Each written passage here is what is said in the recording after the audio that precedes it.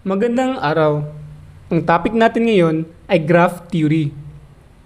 Bago ang lahat, talakayin muna natin kung paano nagsimula ang konsepto ng graph theory. Nagsimula ito noong 1736 sa Königsberg, Prussia dahil sa isang problem na tinatawag na the Seven Bridges of Königsberg. Ang syudad ng Königsberg ay nahati sa isang ilog na may dalawang isla sa gitna. Merong pitong tulay na kumukonekta sa dalawang isla at sa town. Ito lang yung problem. Kapag ang isang tao ay naglalakad sa town, posible ba na madadaanan niya ang lahat ng tulay pero isang beses lang dapat madaanan ang isang tulay? Pwede niyong i-post ang video na to para masubukan niyong isolve ang problem. May nahanap ba kayong solusyon? Si Leonard Euler, isang mathematician ang unang nakasolve sa problem na to at naimbento niya ang bagong branch ng mathematics. Ito ang kanyang ginawa. Nilagyan niya ng label ang bawat part ng town na separated by the river.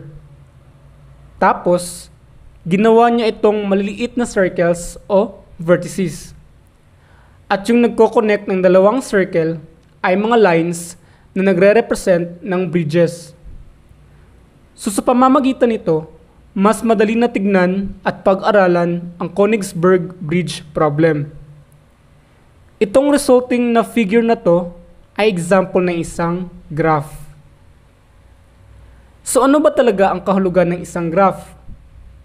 Based sa inyong module, a graph G is a set of points called vertices, and lines, segment, or curves called edges that connect the vertices.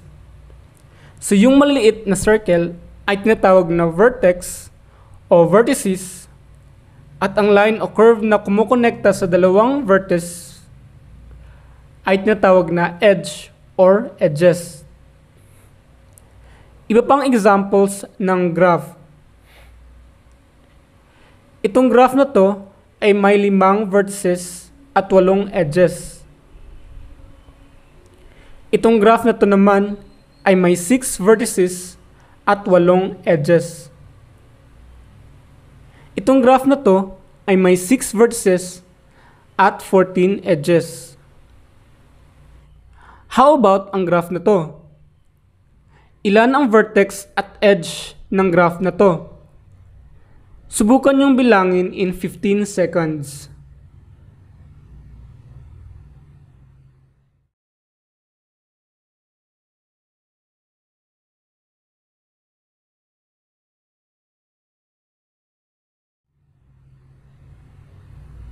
Ang tamang sagot ay 12 vertices and 16 edges. Naiintindihan niyo ba ang definition ng isang graph? Hanggang dito lang muna tayo ngayon at huwag kalimutang i-click ang bell icon at subscribe button. Hanggang sa muli,